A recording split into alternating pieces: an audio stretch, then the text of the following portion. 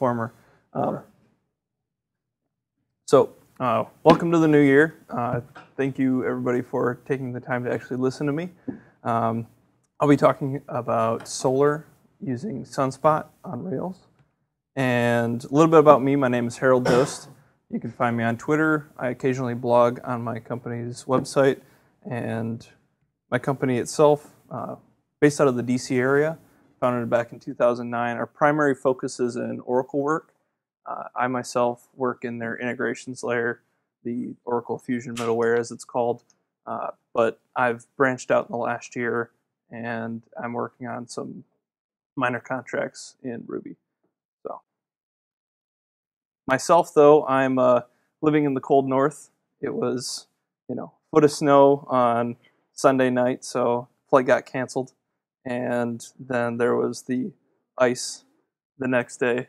So uh, after a you know long cab ride on the icy roads and you know three rebookings and finally you know going on, I finally made it to Atlanta safely. So glad to be in the warmth that is 32 degrees here.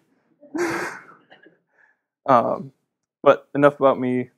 Let's talk a little bit about Solr. So Solr in and of itself uh, is based on the Lucene library. Uh, Lucene is written in Java and as is Solr and it has a lot of major features. So multiple index searching, faceting, joins, sorting by fields, um, and even has pluggable rankings. Uh, so you can have there's a there's a couple of different models.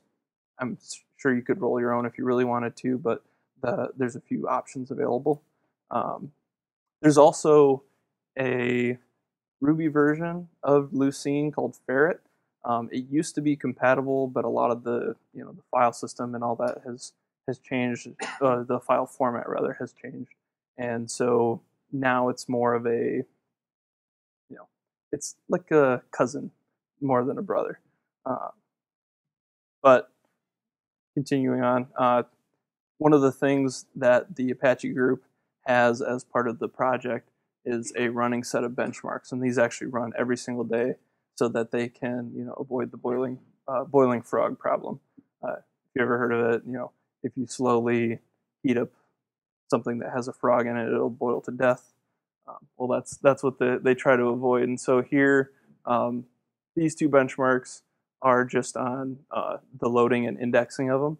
And so you can see over time it's it's gone down a little bit, but you know, there's various features that may affect that rapidly, such as the one that's uh, got the deep spike down there But um, it's it's it's something that's it's interesting. So if you want to actually contribute back, they do have these available so that you can kind of see where the where the community is going as far as efficiency. Um, also here, this is a simple term query. So if you're just typing in something, this is about how many queries per second you could get. This is just running on a single uh, multiple core machine. Um, and then here, uh, this is a term plus a date facet. And so that's a facets, all they do is you look at a specific set of queries and you can look at how the fields are organized and get basically a count of the different items within them.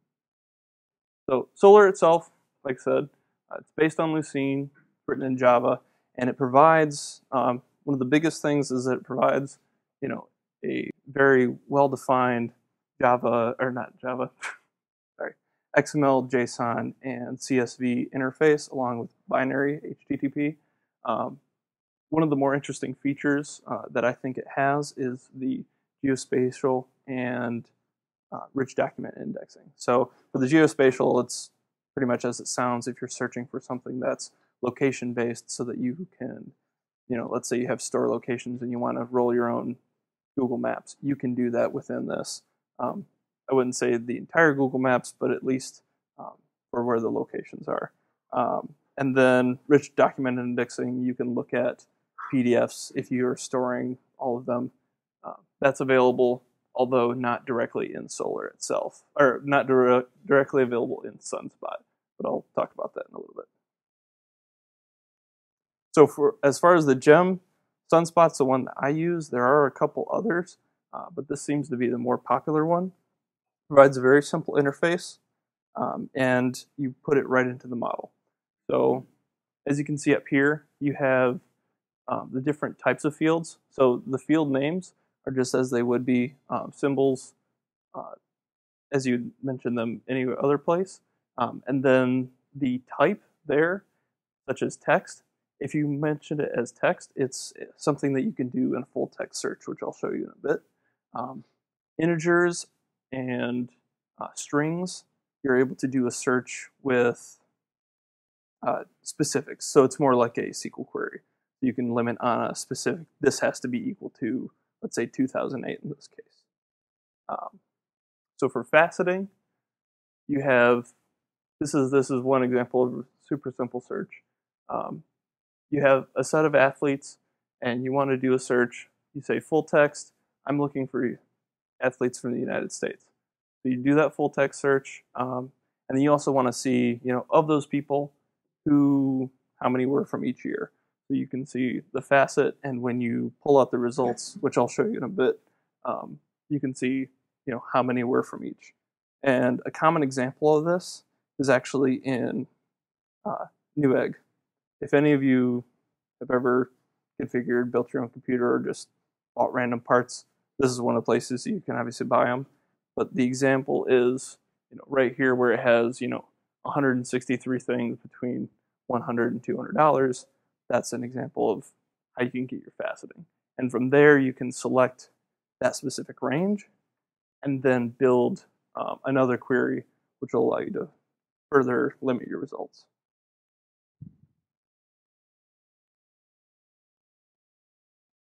So one thing that I noticed later on um, when I was working with this, because I first, the reason I first even started using Sunspot and Solr um, is I'm working with, on my one of my side contracts, we're working with uh, different restaurants and trying to help them get a better idea on their monetization of like, let's say you run a sale and I want to run that sale and know how that affects my actual um, sales. So, five dollars off drinks on Tuesdays.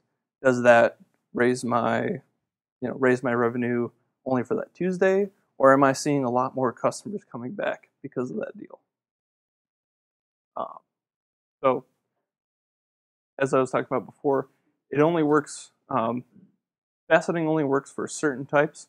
So, if you look before. Uh, the athlete name was actually considered text, and that's something that's searchable, um, but it's not something that they'll allow you to do facets on. Um, now, that's not to say that in Solr itself, you won't be able to do certain things, but there's what's called a, a multi-value item, and those cannot be faceted on.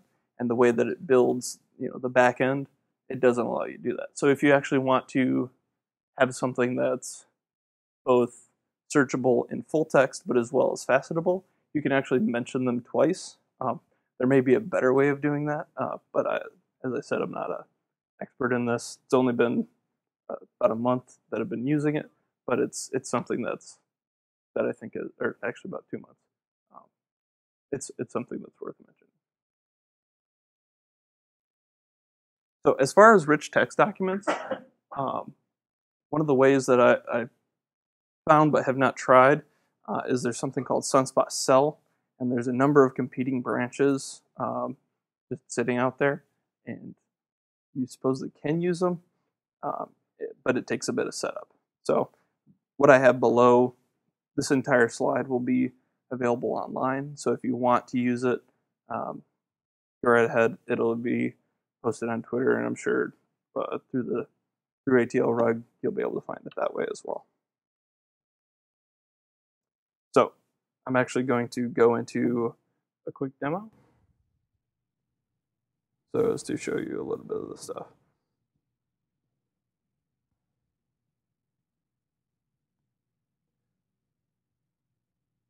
Ooh, that does not scale well.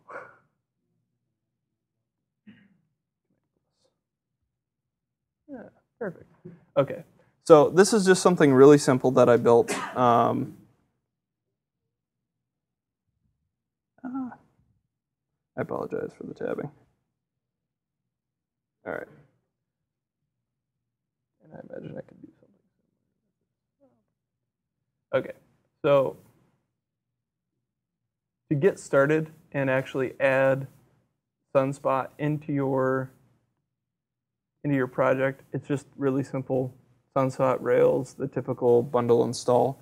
Um, but if you're using something like Heroku, which I imagine a lot of you are, um, there's the actual Solr server that needs to run somewhere. So for your development purposes, they also have this gem, which installs the server into the gems directory, and then it'll allow you to install, um, basically run the configuration, and you'll have basically the server running on your system, so that when you deploy to Heroku, you'll have you know their hosted solution or whatever you decide to go with. Um, so once you've got that in there, I realize that.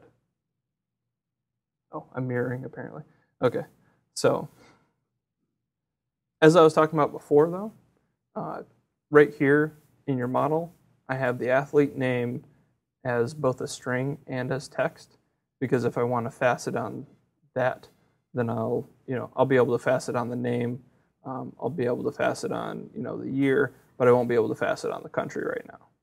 Uh, however, I will be able to search for it. So just as an example, just real quick one. Under the search, I have athletes search and then Germany right now. But let's say we want the United States. But we also want to know more specifically, you know, who are we looking for in the United States? And being that it is more of a typical search engine, you can just type in certain portions. So I want Michael Phelps, but I don't feel like typing out the entire thing. So you can see we have Michael Phelps, Michael Onti, Michael Redd, Tinsley, and Johnson. Um, and we also have different years. So let's say right now this application, we're not be we don't have the ability to filter on years, but we want to. So what we can do is if we go into the terminal, this, and I'm just going to bring up the console. I have a couple of samples in here. So here are a few uh, that I came up with before, and let's say that you want to um, do the simple search that's that's available in the browser, but you want specifically athletes that won in 2012 and they're from the United States. So we can go in and run that. And now you can see to access the actual um, to access the actual results, that is the objects that are related to this search, you just type in, in this case, I have search US facet. Oh, is it a, oh wow, sorry about that. Forgot to check that one, okay. So, a little more, nope, still not readable. We're getting there. There we go. All right. So search US facet 2012. Okay. And as you can see right here, they actually have this is the object itself, um, and it has a number of characteristics available to it, such as you know how many total results are there from the search, um, how many rows were um, originally retrieved for this particular part of the search. So one thing that to note is that Solr actually has built-in uh, pagination. So for requesting certain results, you don't have to you know do anything fancy. It's just paginate, tell it what page you're on, and how many results per page you want. Um, so that's that's something that's that I think is very very helpful. Um, so for example, here um, right now we just want to get the results, and we'll get the first one. And now you can see that once again Michael Phelps appears. Um, but let's go for the last. And it's Heather Petri. So right now we can see the entire object, um, but there's also additional, um, one other way that you can access the results, um, and it's what's called hits. And so these are all um, these are all the IDs for the object. So that if you want to do a um, manipulate it in a different way, or you want access to just the hits, for whatever reason, you have that ability. Um, but also if you want to, let's say, get the next one. So we're going to do our search again. And we'll do United States, 2012, and order by. And actually, order by, one, one point to make. Um, right now I have it as order by gold medals um, in the descending order. Um, but if you want it to first give it uh, the score, and then if there's a tie, sort by something, they have uh, the symbol which is called score. And score is where the way that it would sort it normally. That's just based on how it deems relevance. And then you can sort it by something else. So let's say that, you know, Michael Phelps and some other swimmer, they're both being searched for and the only difference between the two, they're both relevant because it's United States and whatever, but you say, all right, they both have the same relevancy score. How else do I want to sort them? Because it might not be, you know, you won't see an 8765431. You'll see, you know, I don't know, 5, 6, 8, 5, 4, 3, 2, 1. Um, because of how because of how the score works first and then the than the gold medal. Um, but back to the original point. I apologize for drifting. Uh, so if you want to do pagination or customize your pagination, pagination and then page. Let's say we want page two, and then if you're just worried about what page you're on, it'll default to the 30. If you want specific uh, number of results, then you can specify that as well. And so in this case, I failed. That's why we have samples to run with. And unfortunately, it looks like this one, I didn't do that. Um, however, in my code for my controller, I did. So if you look here, it's paginate, page, and then the parameters. And then for this case, you know, in case I don't actually want to pass the page parameter, I default it to one because that's what you'd be expecting. So now, if we go back to the page, you can see we want Michael, United States. Page two probably won't exist, and it doesn't. Um, one, because my server's off. uh, there we go. Let's boot that baby back up. So this time it'll probably, it'll come back to a, yeah, so it comes back with an empty list, which is expected because there's only one page. But if we limit it back down to just the United States, we can get a page two. Um, heck, we could probably get a page 30. Yep. So, and it looks like in this case, for the most part, um, it has sorted somewhat by an order of medals. Because if you notice, a lot of them, high numbers are here and all the ones are way down below, but that could just be the way that I inserted all the records. I haven't yet tested that. Um, so far, are there any questions? No? Okay. Back in there. Um, so yeah, uh, like I said, my name is Harold Dost. Uh, I'm a consultant with Raastech, and if you guys have any questions, now would be the time for them.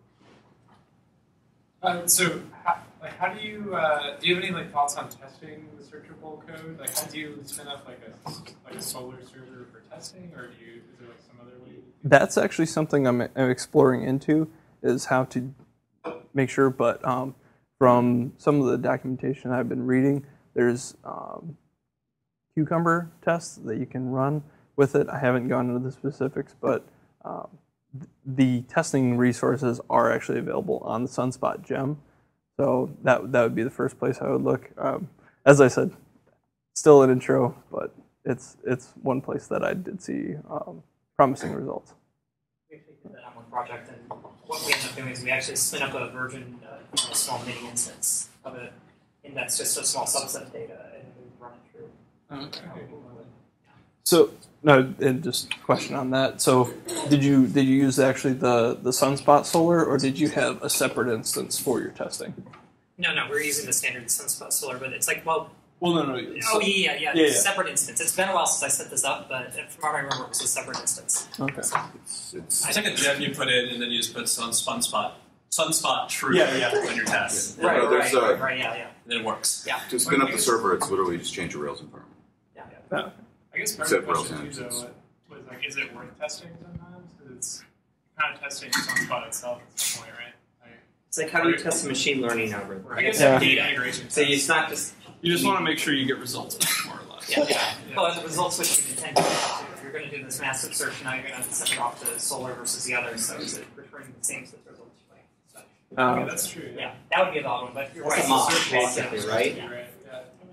man, you should just say mock uh, Sunspot server. No, no. You, I'm saying don't lock it. Oh. At the same time, too, you, you know, do you want to test that you actually got your searches right, though, too? Then you might actually go full stack. But if you know that your searches are correct, and you have a few tests against that, then obviously for a faster unit test, then you would say, all right, don't keep testing in this layer, mock that out, or do. So did you just uh, did you only test on the number of results returned, or did you actually uh, search on uh, you know the actual results themselves? Did you do a look through, make sure that you know like sort it, come back and say, oh, do these do these even exist? Usually, the way we were testing it, at least, usually it was part of a bigger piece of functionality Okay. that was in there. So what I would call it is kind of a functional test. You know, they, were, they, they weren't really units, but they weren't really view tests because we weren't hitting the view layer with it. Right. But we're testing through the you know the controller stack and down through basically. Um, when, when we're testing like cucumbers, if we have, say, we've got a field where um, it should make it not, like this field should be not sunspot searchable. Right. So these things should not, then we'll set up the. Oh, okay. So you're saying There's, there's four Yeah. objects. I Yeah. go to the, the web page. I should see two objects because two of them are not searchable. right? Or- Yeah. So like like in, in this where you have like technically integer is not is not searchable in the full text, but it is searchable in that you can have a with clause on it. Yeah, something well, it's also effect. like we might have things that we're indexing, Mhm. but we want to hide them from certain searches. Okay. And so we just like, and so make sure that, and we don't want it to display in the search results either. So there's like 500 things that should match the search, but 300 of them are Okay. you know, privileged or whatever. And then Yes. we just make sure that No, got our index right. correctly. So you're really you're not getting somebody else's emails. right. What you're doing is you're testing your you're testing your indexing. You're Right. testing like did I set up indexing correctly? You're not really Yes. testing Sunspot. You know it Yep. works, but you're testing you. Did you, Okay. did you set this up correctly? Yep. Does anybody have questions for them? No? I Okay. kind of do. So, just hey, why not, right?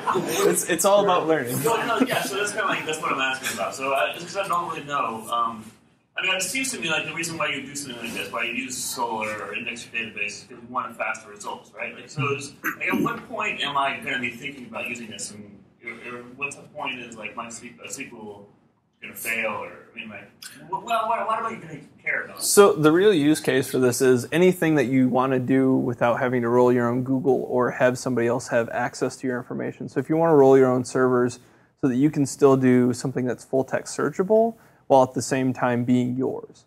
Um, because there are ways that you can like you can have you can pay Google to give you one of their little boxes and it'll index all of your intranet if you really want it to and it'll you know provide all sorts of searching within your internal network or within your websites to Google. Um, but if you don't want them still having access to your information, this is something that you know you it's open source. You know you, you don't have to pay for. it. You might want to pay for support through somebody, but um, you know you can rev up the server, index all of your documents, and go from there. I mean, obviously, if you're doing it with other products, then you'll have to do integration there. But it's it's really something so that you own it, more or less. So like losing Solr full text, searching in different piles of like MySQL. Like, Yeah. Like, Because then you have to say Like like and this or search. Yeah, and- this. And, they're much Yeah. smarter. Usually, they often provide suggestions and things that are similar, completions. It's, Yeah. it's yeah. Yeah, I mean, it's for the it's for other one. it's for literally searching for data. Not it's not for like creating data that you know what it is. It's mhm. for you to typically pass through user input to get back. Oh, I want to find you know Impalas like on a car car site, and then it goes through and finds you know all the things that have been called in the name. It's not looking on the, the car type field for literally like Right. I want to find all my records in the cars table where cars all is. Got it. So, you know, kind of a bigger thing that full text searching, search and. So like, so it's like, so I, you know, so I suppose I could also like put it like so like Mongo or something like that also has full text, but it's not going to be as cool, it's not going to be as quick or something like that. Depends on what you're saying. And, and It's not really what that's for. This is like more for that. Yeah. And, and and the use case that we actually had it for is is not even for the front facing customer of the product that we're working on. It's actually for us as developers because we're mean, we're looking through and we're trying to parse out these. It's formatted by machines, but for humans. So it's not like it's not a JSON. It's it's like printed out documents, and we're trying to ingest that. And so if we're looking for certain things that maybe were faulty, so we can say we can do a flag and do a with, which is basically equating saying this does not have a parsed form of it.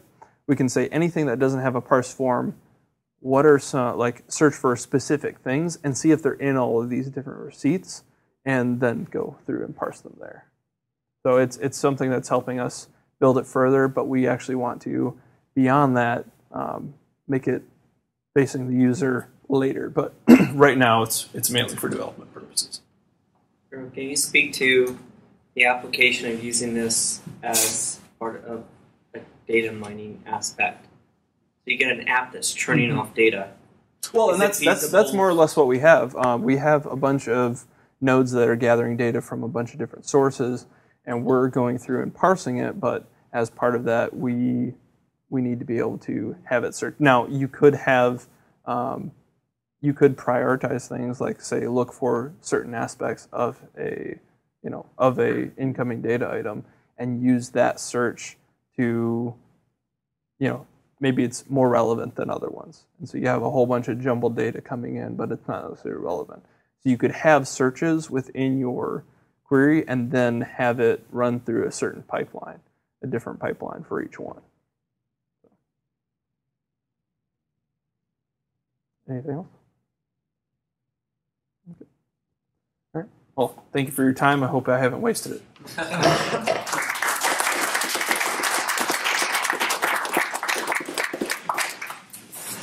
Are you kidding? Did you not record? I apparently never recorded. Um, did you rehearse timings as the backup? Maybe not. I have to double check. I'll let you know about it. I think it was just form- We hope you've enjoyed this video presentation of a talk given at a monthly Atlanta Ruby Users Group meeting. This video has been sponsored by Rieta Incorporated. As an Atlanta based Rails consultancy, Rieta transforms high level business problems into technical solutions. For more videos like this one, please see the ATLRUG videos playlist.